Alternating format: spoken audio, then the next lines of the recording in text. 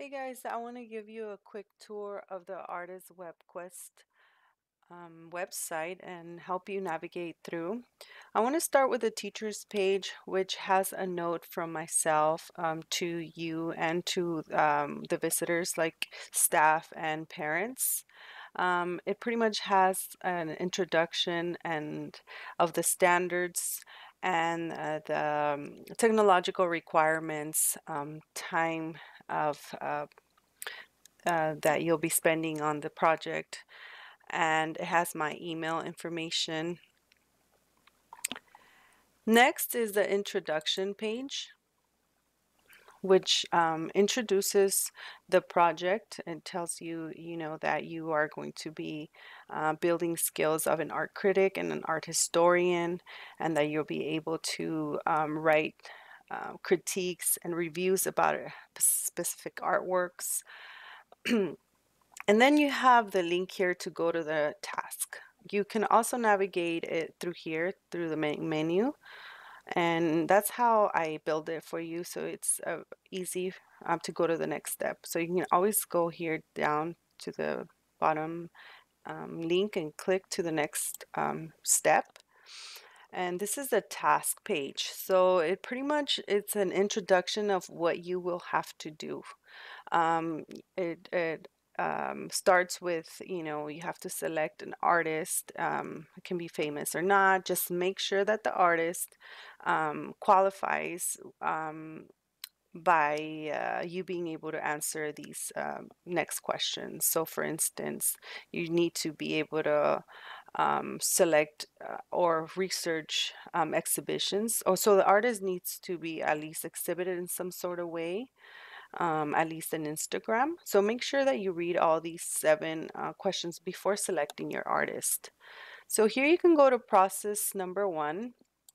So it it tells you exactly step by step what to do. So, um, you know, it says name the first page introduction. Um, we practice with building websites with Google Sites.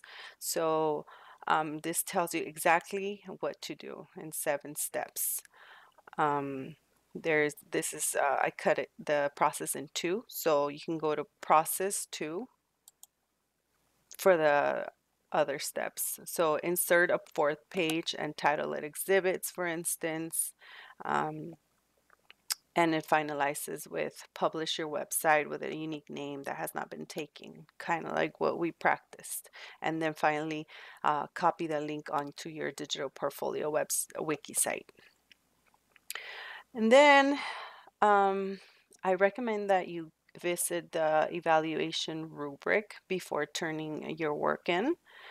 And actually, um, you can look at the rubric, and you should look at the rubric before beginning your your work. So your rubric is under process two, under evaluation rubric. You can always easily access it on the main uh, menu here, evaluation rubric, and it um, it's designed just the way we've been doing uh, rubrics, uh, following the same structure. You know, it has to be built with Google News sites, has to have um, five pages uh, with all the supporting information, and so on and so forth. Um, then finally, once you check your rubric and you make sure you have everything, and then you can go to the conclusion here. Once you have finalized your project you can go to your conclusion and this is pretty much me congratulating you on um, completing the quest. Um, so you can read through here. Um, I have some some questions for you to think about um, to kind of wrap and to um, give um, this quest uh, sort of like meaning uh, in the real world. So I encourage you to visit the Getty Research Institute website where um, they do um, uh, projects, their research projects.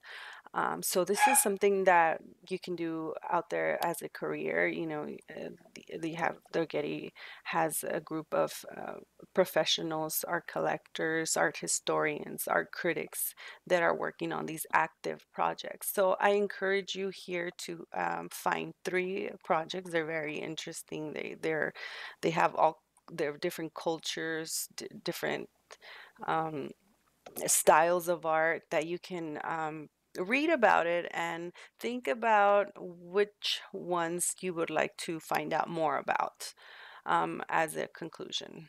So this pretty much wraps everything um, about the artist web quest. Thank you. I hope this helps.